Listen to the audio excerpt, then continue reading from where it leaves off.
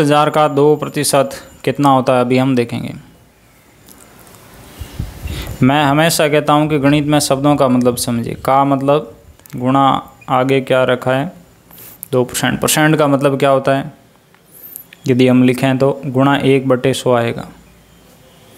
तो हमने क्या किया? परसेंट की जगह गुणा एक बटे सौ कर दिया। अब आप जानते हैं, क्या जानते हैं? कि ये बट्टे यानी भाग में है और ये गुणा में तो क्या होगा? संख्या एक दूसरे को काटेगी। ज़ीरो से, ज़ीरो कटा, फिर ज़ीरो से, ज़ीरो कटा। एक गुणा दो कितना होता है? दो। कितने ज़ीरो बच गए? दो। ये कितना बन गया आपका? दो सौ। यानी क्या समझे? आपने दस हज़ार रुपया ले रखा है महीने के दो परसेंट के हिसाब से। तो महीने के कितने देने पड़ेंगे आपको? दो सौ रुपया देने पड़ेंगे। ठीक है?